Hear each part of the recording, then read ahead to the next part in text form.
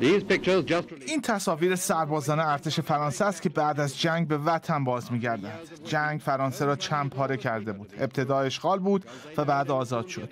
پنج میلیون مرد اعزام جبهه ها شده بودند. اینها نامه های یکی از آن مردان است. پیر به معشوقش ایمی می نویسد نامش حالا از زبان نوهش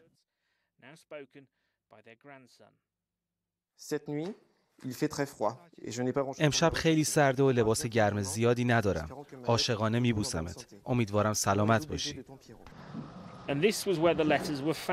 نامه ها اینجا پیدا شد. در یک مرکز بازیافت در جنوب غربی کشور. حدود 200 نامه لای کلی روزنامه قدیمی رها شده بودند.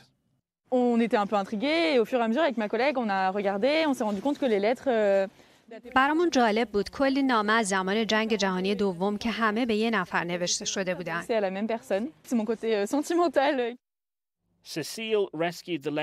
سسیل نامه ها را حفظ کرد و بعد از کمی کاراگاه بازی به صاحبه به حقشان برگرداند. هرچند محتوای آنها غیر منتظره احساسی بودند.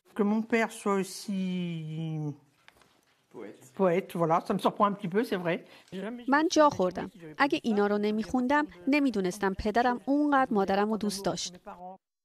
پیر از جنگ جان سالم به در برد و با نامزدش ایمی که شش سال پیش فوت کرد ازدواج کرد. فقط یک روایت از بین میلیون ها نسلی از مردانی جوان که به جنگ فرستاده شدند ولی عزیزانشان را فراموش نکردند Tim Ullman,